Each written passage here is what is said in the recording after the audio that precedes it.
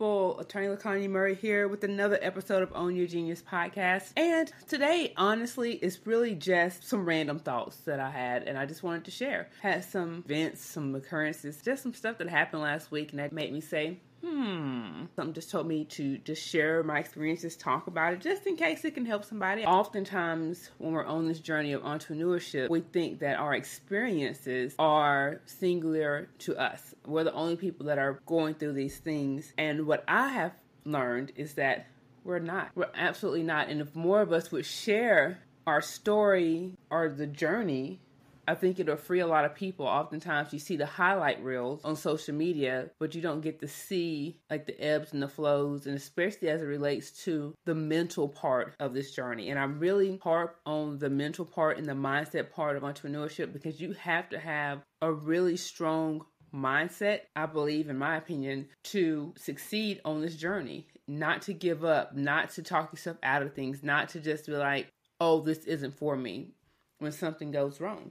Remember back in September when I interviewed Dr. Reba Peoples and we were talking about the long term effect of childhood trauma. And at the end of it, I was like, you know what? This confirms it. This is it. I'm taking my butt back to therapy because I've gone to therapy off and on. And I really like the idea of sharing with someone without that judgmental piece. But and after that interview, I was like, you have confirmed it. I'm going back. So I did. I went back to therapy. I think last week was my second session back. I'm going every other week now because right? If you go to therapy, if you think about going like you can kind of feel me on that part when it's just like, ooh, like, yes, I needed to get that out. I needed to be able to think about this another way. As I was driving to therapy, so it's like there are two things that I want to address because I got some issues. And one of those issues we got to talking about is my inability not to take a compliment, but to recognize or acknowledge the achievements that I've accomplished. And it's one thing to say, oh, yes, I've done this and I've done that. But it's another thing to say, I've done this, I've done that, and that's exceptional. I've done this and I've done that. And not too many people have been able to accomplish that. And that's where I'm at. I don't give myself credit for the things that I've accomplished. I shove them off as if, hey, anybody can do this. I remember when I had my oldest daughter, Trinity, my junior year in college, I had Trinity. And I had Trinity, didn't move back home as people thought I would or thought that I should. I stayed in Birmingham, took care of her, went to school, worked, Eventually, I graduated, got a job in Birmingham, leasing apartments, went from being a leasing agent to an assistant manager in a very short time and was just really doing the thing, taking care of us. Life was good. And I remember my dad saying, Wow, I'm so proud of you. I was like, Proud of me for what? Like, why are you proud of me? And he says, Because you did it. I was like, I, I didn't do anything. I graduated and I'm taking care of my kid. Like, that's what people do. And he was like, no, no, no. Everyone does not do that. You do realize that. I'm like, no, this just seems pretty normal to me that if you have a child, you take care of them. And said, yes, maybe, but everyone wouldn't have the tenacity to actually stay in a city where they have no family to make sure they can get it done. Some people would have quit, and you didn't quit. And for that, you should give yourself a pat on the back. And I was like, whatever. And honestly, up until maybe last week, I've always been like, whatever, because that's what we do. From what I've seen, that's what we do. But I do realize and acknowledge that everyone doesn't do that. I guess it also matters what type of circles and what you surround yourself around, what seems normal and what seems extraordinary. Because if you're around people who make different decisions and you're doing something like this, I can see where I can give myself more credit. But especially once the internet came on and you see people in the hospital bed taking exams and things of that nature, you're like, oh yeah, I just did what I had to do to get it done. But who says that doing what you have to do to get it done isn't something extraordinary? Like, even that in itself is something you should be able to look back and say, hey, I did that and give yourself credit for what you actually did because not everyone can do it. Not everyone would even have the mindset to say, hey, this is what needs to be done, so let's get it done. That's my whole point. Like, give yourself credit, you know, acknowledge what you've done. And it's okay to acknowledge what you've done. And that's what I was in therapy for last week. I was like, ah, why is it so hard for me to think that I'm something special. That, hey, I'm a person that's worth the fuss. I'm a person that, oh, yes, I see why people admire me. Do you guys have this problem? Let me know. It's not necessarily a problem. Do you all see that where a lot of times people will admire you and you're like, um, why? Let me know in the comments what you think. Let me know. And so at the end of the session, a therapist was like, Girl, you're a boss. And I was like, Ooh, like when she said it, it kind of made me cringe a little bit. She was like, But you know, you're literally a boss. Like you employ people. And I was like, Yeah, but. So I was still struggling a little bit when I left. But then the next day, I was applying for this grant. They asked me about my team, they asked me about the journey, all those things. But when I kind of put it together, I was like, man, I am worth the fuss. Like, I am literally a boss. Because one of the things that I realized as I was filling out that application is that I have two young ladies that work for me. I know one is 22 and the other one may be the same age. But I know that at 21, at 22, I, had a, a one year old. And I was working and going to school, trying to take care of my daughter and trying to see if I can graduate like I said I would. Still hopes of going to law school, right?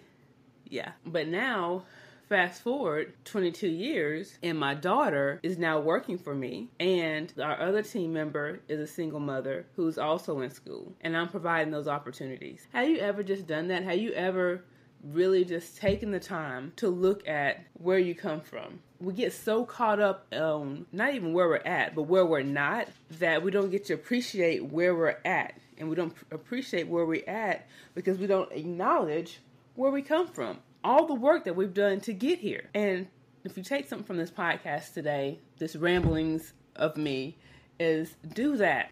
Take the time to appreciate the work that you have done to get to where you're at. That doesn't mean that you have to be content about where you're at and that you have to not want more. You can absolutely want more. You can still be trying to get to where you're trying to get to.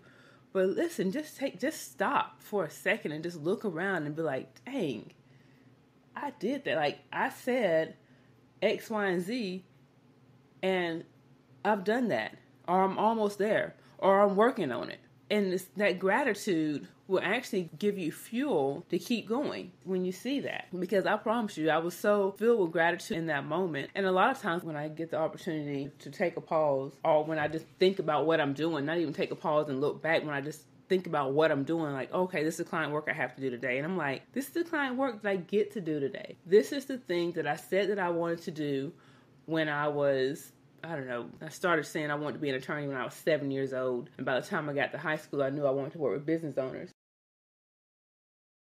All those many moons ago. And now that's exactly what I get to do. And every little part of my journey, even the parts that I was like, can we skip this part? Why do I have to go through this? You know, the struggle and the test, you know, all of that was necessary in order for me to get to where I'm at right now. And what it does for me is because I've gone through that, I know I'm prepared for whatever comes ahead. They're talking about a recession. They've been talking about recession for like months and months and months. But for some reason, when I heard Gary Vee talk about it, I was like, like, oh my gosh, recession. And it did. It intimidated me. It put a little fear into me. And like, oh my gosh, do I need to do something else? Because there's a recession coming. Can I keep this going? I'm responsible for not only my livelihood, but two other people. Is this something that I can continue? Is this something that I should continue? Should I play it safe until this is over? And then I thought about it. It's like, chick, you've been through a recession before. You've been in business 10 years. You've been in business 10 years. So if you've gone through this before, it's okay. You might need to reevaluate and change some things up, but you don't have to quit and do something else. Just actually look at your data and see how you need to move forward.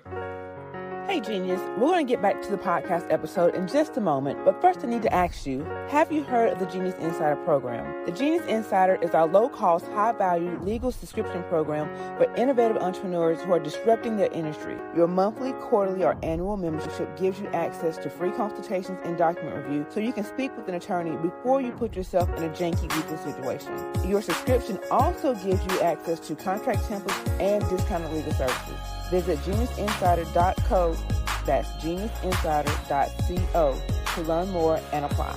Now let's get back to our regularly scheduled program. Today's podcast is going to be a very short podcast, a bunch of random thoughts that I wanted to get out. I just felt like maybe this could help someone. And I did want to say that the feeling that I have, it's not imposter syndrome. It's not this feeling of I don't belong here or I'm not good enough. You listen to episode 98, Dr. Peebles has some really good insight on that. But what I'm talking about today is not it's not imposter syndrome. It is in fact not taking credit, not appreciating the work that you've done so far to get where you are. And that's a very important part of your journey and of your story. I always say, you know, baby steps are steps forward. And it reminds me of working out because I've been working out. If you follow me on Instagram, you see that I, when I do a workout, I share it to my story. But I've been actually working out consistently now for 10 weeks. And I do Peloton, I do another program, E2M. The reason I did it was not just to lose weight, but I really wanted to learn how to live a healthier lifestyle. I wanted to be able to incorporate eating and exercising daily, and drinking my water and something to kind of hold me accountable.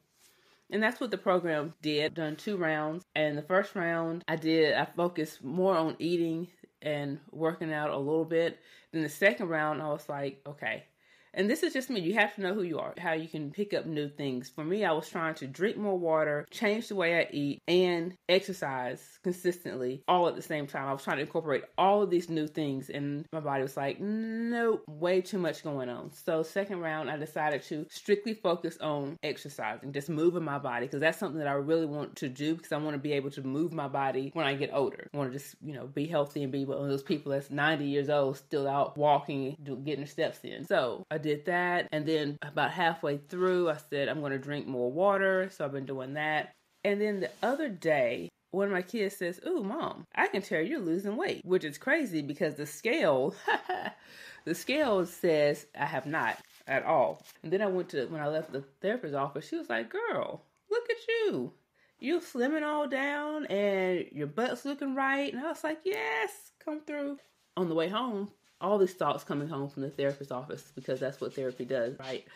But one of the things I thought about was like how I'm making little changes here and there and I'm being consistent with those changes and the results aren't obvious. And if you try to measure it against your big goal, it's going to fall short, maybe. But the changes are there. The changes are there. Like I can literally put on a pair of jeans today that I could not even get past my knees last year. But the scale says that I haven't lost anything but like two pounds, three pounds. But I feel like life is like that. I feel like business is like that. That we go through this journey and we feel like if we're not doing something major, if we're not making the big investment, if we're not doing the big thing, if we're not following all the trends, then we're missing out and we can't be making the progress that we thought we were making. But if you show up consistently and you do those smaller things that are within your realm of genius, those things that you can do right now, because maybe you can't afford to do the thing that you really want to do, but you really just can't afford it, whether it's time or money to invest right now. But you show up in the way that you can show up, and you show up in that way consistently, consistently, consistently, time over time, you will see changes is you're consistently showing up in a way that moves the needle, in a way that matters. So if I was consistently eating chips and cakes and candy, I wouldn't be able to fit into those jeans. But I'm consistently making better choices. So maybe you can't afford to hire someone to build a funnel for you, but you can create some form of content and email it out to your list, consistently creating content and sharing. You can do that until you can do the big thing. And that creating content is a way for you to get noticed on some scale. And you say, well, why should I create content if I can't afford to send it out to the masses? And I'll tell you why. This is what I noticed for me. Again, this is just personal to me. And if it works for you, then it does. But when I create content and I share it, especially when I share it with my email list, I've noticed that we get more leads. And that's because I'm staying on top of people's minds. So even if they don't need us right now, if someone mentions trademarks or there's an infringement or something that has to do with business and legal, my name will come up because now, because I've created content and shared that content, I'm top of mind. Even if that particular person that I sent it to doesn't need me. So they share then someone else shares and someone else shares. So that consistently. And the flip side of that is, I can tell you this because we keep up with the numbers, when we don't create content, when we don't share, where we're not showing up, we don't get those leads. And you can say, oh, well, that's a coincidence. Maybe, you know, one or two times it's a coincidence. But year after year after year, of seeing the same thing, nah, that's not a coincidence. That is what it is. So showing up consistently, even in a small way, matters. Like I said, I just had all these thoughts in my head and I wanted to get them out and I wanted to share with you all because I feel like somebody needs to hear this message, especially as we're entering into the last two months of the year. Maybe this year wasn't your best year. Everybody say, "Oh, this year's my best year ever." Maybe that's not your testimony, and you're like, "Ah, just beating yourself up about it." Don't beat yourself up. Literally, go back and look at the work that you've done to get here. A couple of things can happen. A couple of things will happen. One, you get to see the work that you did to get here. Like you get to say, "Oh, I accomplished this. I accomplished that, and I accomplished this," and that's really great. Ooh, but you know what? I'm noticing as I'm going back and I'm looking at this journey, I did do something different here, and it doesn't look like it's working out, whatever that something different is. So it can be very, very helpful. And that's the takeaway. You know, if I had to say what today's takeaway of the podcast is, give yourself credit for the work that you have done give yourself credit. Give yourself the flowers for the work you have done, for you showing up and for you being where you are and for you doing the work to get to where you are. Don't take it lightly. Don't say, oh, well, anybody could have graduated college or anybody could have did this, blah, blah, blah. Anybody maybe, but you did. So give yourself credit.